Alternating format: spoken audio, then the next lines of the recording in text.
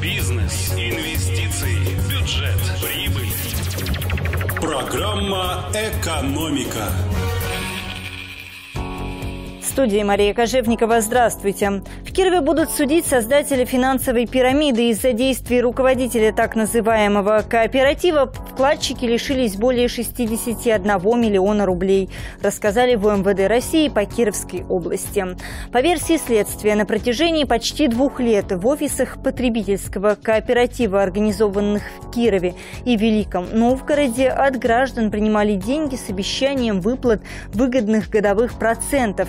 Деятельность позиционировалась как часть программы «Потребительская кооперация». В качестве демонстрации направлений работы в интернете размещали ролики об открытии сельхозпредприятий, объектов деревообработки, предприятий бытового обслуживания населения. В действительности к деятельности кооператива эти реально существующие компании никакого отношения не имели. Всего пострадал 161 человек. Сейчас организатор находится под стражей. Расследование уголовного дела, которое на него заведено, завершено и направлено в прокуратуру для утверждения обвинительного заключения.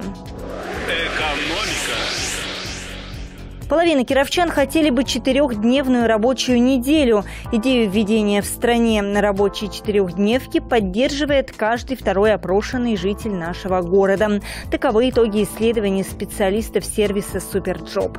Против этого выступают 29% участников опроса. Чем моложе люди, тем больше среди них сторонников четырехдневки.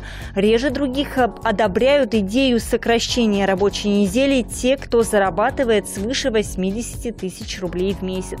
Что касается пола, то женщинам мысли о трех выходных нравится больше, чем мужчинам. Тратить дополнительный выходной кировчане стали бы, по их словам, на семью, на отдых, на саморазвитие и повышение квалификации, а некоторые нашли бы подработку. В эфире «Экономика». А сейчас информация от наших партнеров. Бизнес без роста и развития – это не бизнес. Порог доходов для самозанятых – 2 миллиона 400 тысяч рублей в год. Но эта цифра не должна ограничивать ваши масштабы. Рекомендации для тех, кто собирается ее со временем преодолеть, дает руководитель компании «Бухгалтер Я» Татьяна Максимчук. Вы можете открыть индивидуальное предпринимательство и получить статус самозанятого. Но деятельность деятельность по этому ИП вы не ведете, а в тот момент, когда у вас доход будет приближаться к 2 миллионам 400, вы статус самозанятости максимально просто отказываетесь приложением, подаете заявление, уведомление о переходе на упрощенную систему и начинаете работать уже как индивидуальный предприниматель. Оптимальный выход для вашей бизнес-ситуации помогут найти специалисты компании «Бухгалтер» и «Я» независимо от организационно-правовой формы или сферы деятельности.